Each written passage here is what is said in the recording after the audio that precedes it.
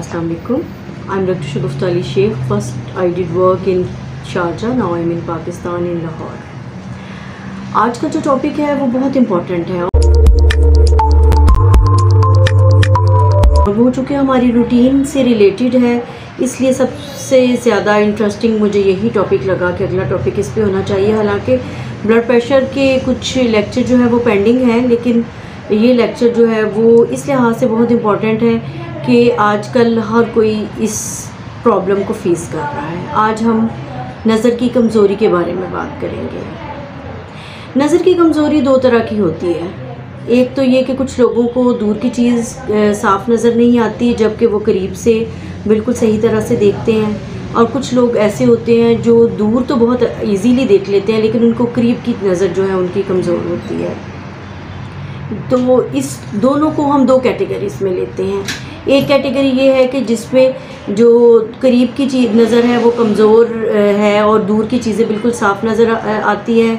इसको हाइपरोपिया कहते हैं। और जिसमें दूर की चीज़ सही नज़र नहीं आती और करीब से आप आसानी से देख सकते हैं, उसे मायोपिया कहते हैं। एक्चुअली इसकी कॉजेज़ के, जो भी इसकी कॉजेज़ अब हम डिस्कस करेंगे, लेकिन जो इसमें मेन कॉज है, वो ये होती है कि जो लेंस है, उसका और रेटिना के दरमियान जो डिस्टेंस है वो डिस्टर्ब हो जाता है। जिसकी वजह से जो इमेज है या जो हम देख, चीज़ देखते हैं, उसका जो इमेज बनता है, वो रेटिना से की बजाय रेटिना से पहले ही बन जाता है या उसके बाद में बनता है। जिसकी वजह से जो चीज़ हम देखते हैं, वो हमें दिखाई नहीं देती। ये तो खैर इसकी कॉजेज़ एक मेडिकल आपको उसकी मैंने डिटेल बताई।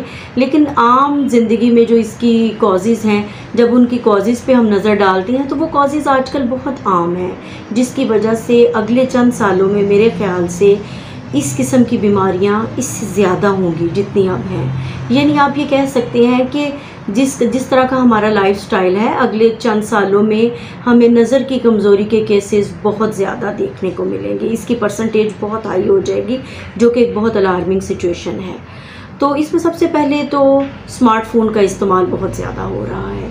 स्मार्टफ़ोन का इस्तेमाल ना सिर्फ़ ज़्यादा हो रहा है, बल्कि ज़रूरत से ही ज़्यादा हो रहा है, जिसकी वजह से आगे कुछ सालों में हमें ये प्रॉब्लम फेस करना पड़ेगा।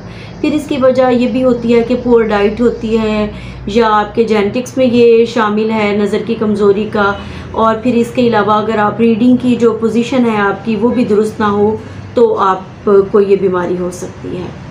और इसकी जो कॉजेज़ हैं, जैसा कि मैंने आपको बताया इसके अलावा हमारा जो लाइफस्टाइल है लाइफस्टाइल ऐसा है, वही कि हम स्मार्टफ़ोन का इस्तेमाल बहुत ज़्यादा करते हैं। अच्छा एक और कॉज जो बहुत कम लोगों को मालूम होती है कि हम सन ग्लासेस का इस्तेमाल नहीं करते या काम करते हैं। पता नहीं क्यों हमारी सोसाइटी में ये समझा जाता है कि सन ग्लासेस जो है, उसका ताल्लुक फ़ैशन से है। हालाँकि ऐसा नहीं है। अपनी आँखों को सूरज की तेज़ शुआओं से बचाने के लिए अगर आप सन ग्लासेस का इस्तेमाल करें तो उससे भी आपकी आई साइट जो है, वो डिस्टर्ब होने से बच सकती है। तो इसके साइलेंट सिम्टम्स की जहाँ तक हम बात कर लें तो इसके साइलेंट सिम्टम्स ऑब्वियसली सबसे पहले तो नज़र की कमज़ोरी होगी। दूर की चीज़ जो है मायोपिया में जिस तरह की दूर की चीज़ जो है, वो सही नज़र नहीं आती और करीब की चीज़ सही नज़र आती है। तो उस सूरत में ये जो है, ये बीमारी की एक शक्ल है। और इसकी कॉजेज़ भी होंगी और इसका ट्रीटमेंट भी ऑब्वियसली होगा, लेकिन जो आपकी नज़र जो है, वो करीब की नज़र कमज़ोर होती है विद एज एज बहुत बड़ा फैक्टर है। जिन लोगों की आई साइड जो है सिक्स ओवर सिक्स होती है, लेकिन विद पैसेज ऑफ़ टाइम जब एज गुजरती है तो फिर आपकी नज़र जो है वो कमज़ोर होना शुरू हो जाती है। उसका कुछ हद तक जो है, उसका इलाज किया जा सकता है, लेकिन जो, ये एज के साथ है और ऐसा होना ही है। अब जो, जहाँ पर इसके कॉजेज़ की बात, इसकी साइलेंट सिम्टम्स की बात आ जाती है तो इसके साइलेंट सिम्टम में सबसे बड़ी जो है, वो तो यही है कि आपको ठीक से नज़र नहीं आएगा और दूसरा ये कि हेडेक भी होती है। अगर आपके मसल्स की वीकनेस है आई मसल्स की वीकनेस है, या किसी वजह से जो है, वो डिस्टेंस जो है, वो आपका जो आई बॉल है, वो एनलार्ज हो गया या फ्लैट हो गया, जिसकी वजह से रेटिना और जो है, वो लेंस के दरमियान डिस्टेंस डिस्टर्ब हो गया तो भी सही नज़र नहीं आएगा। ये भी मसल्स की वीकनेस की वजह से हो सकता है। इसके अलावा इसकी बहुत सारी कॉजेज़ हैं। कॉजेज़ के अकॉर्डिंग टू जो है वो सिम्टम्स होम्योपैथिक में हम इसका ट्रीटमेंट करते हैं, लेकिन होम्योपैथिक में इसकी बहुत अच्छी अच्छी मेडिसिन मौजूद हैं। और ऐसी मेडिसिन भी मौजूद हैं जो कि आपके आई साइड को इस हद तक ठीक कर देती हैं कि जो बच्चे पहले ग्लासेस यूज़ करते हैं, बाद में उनके ग्लासेस जो हैं वो उतर भी जाते हैं। तो इस सिलसिले में जो मेडिसिन की सिलेक्शन है, वही बात मैं आपसे कहूँगी कि ये जो मैं आपको मेडिसिन बताती हूँ, ये सिर्फ़ आपके अवेयरनेस के लिए है और ये आपके ट्रीटमेंट के लिए नहीं है।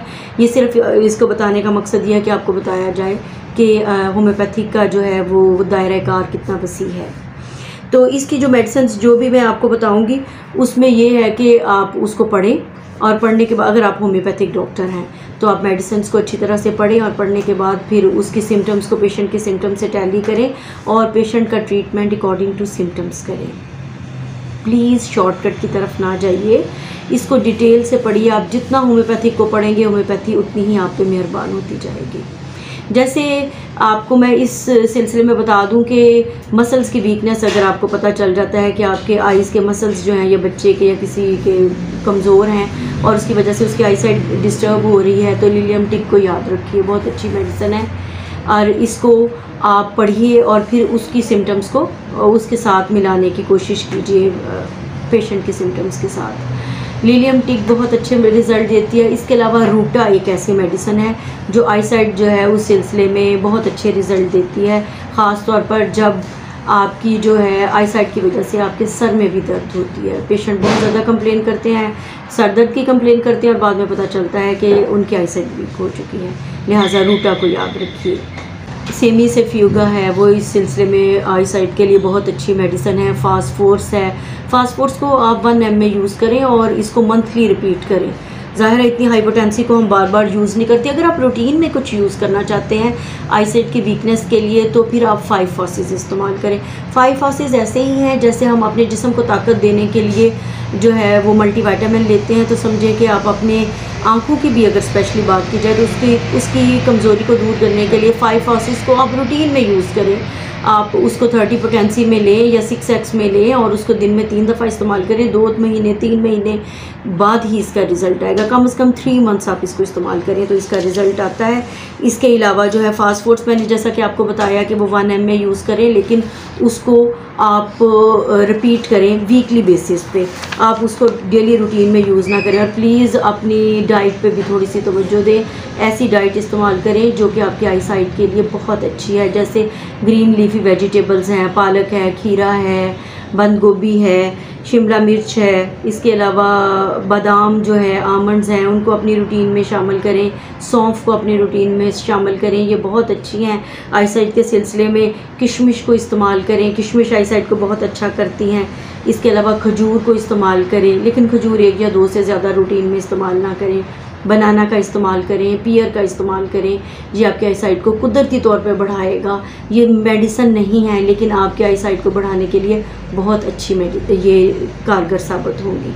इसलिए इन चीज़ों की तरफ़ ध्यान दें और प्लीज़ जो एहतियात के तौर पर अपने सेल फ़ोन का इस्तेमाल जो है वो कम करें और इसकी टाइमिंग्स कर लें।